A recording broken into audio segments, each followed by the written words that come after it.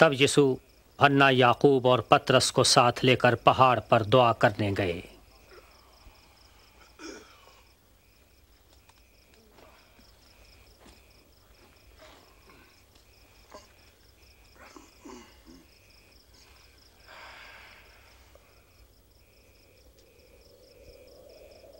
जब वो दुआ कर रहे थे, उनके चेहरे का रंग बदल गया और उनके कपड़े सफ़ेद बर्राक हो गए। अचानक दो आदमी उनसे बातें करने लगे। वो मूसा और ईलिया थे जो आसमानी जलाल में ज़ाहिर हुए थे।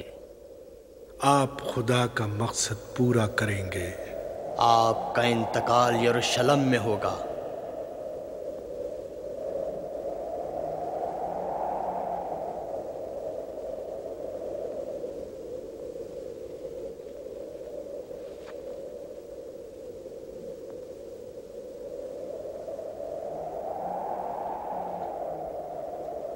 जब वो जा रहे थे पतरस ने यीशु से कहा मालिक कितना अच्छा है कि हम यहाँ हैं।